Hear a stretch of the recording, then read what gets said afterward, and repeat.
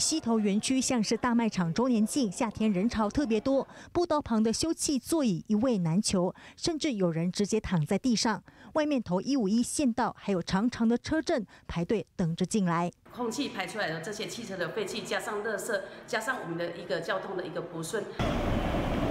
尤其周末一千五百个车位常常不够用，塞车严重，甚至有人形容交通废气或许比分多金还要多。以价质量，好，或者是说那个台大实验建个立体停车场。哎，涨价我当然是觉得说可以呀，但是不要涨了太多啊。由于日月潭跟清境农场周边道路都设置有路况预警电子系统，唯独西头没有，民众建议跟进，让外地人提前掌握交通状况，减少塞车。台大实验领管处表示，将再做评估，同时是否调整优惠价也将列入考量。